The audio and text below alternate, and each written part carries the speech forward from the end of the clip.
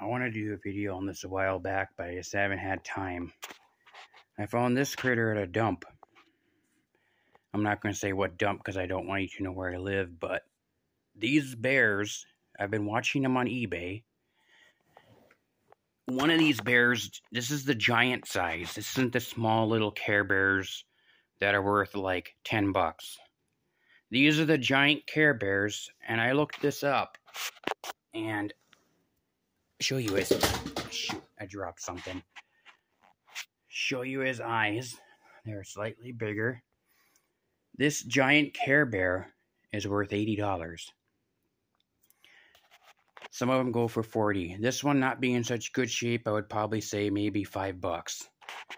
Because it's basically really dirty and really worn out. But if i had one of these in mint condition it would be worth 80 bucks most I can probably get this for get this sell this for is between three dollars and five dollars because of the condition that it's in. So this one's not as worth as much as the ones that are in pristine shape that are going on eBay. So basically this all this is good for is for display purposes exactly where it is. Basically it's not worth anything with the with the way it stands for all I know, the, the condition that this bear is in, it may not be worth anything at all. Because a collector would want it clean and like brand new. This is not like brand new. This is in garbage condition. But if you have one of these in pristine shape, like brand new, this is not like brand new. This is worn out, hashed, no good.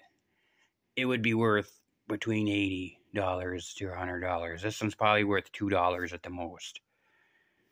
But I want to do a video because I don't know much about these bears. If anybody does, I don't even know what year these bears are from. I don't know how long they made the bigger size bear. But this bear is worth nothing. But if you know anything about these bears, feel free to comment below. So, thanks for watching.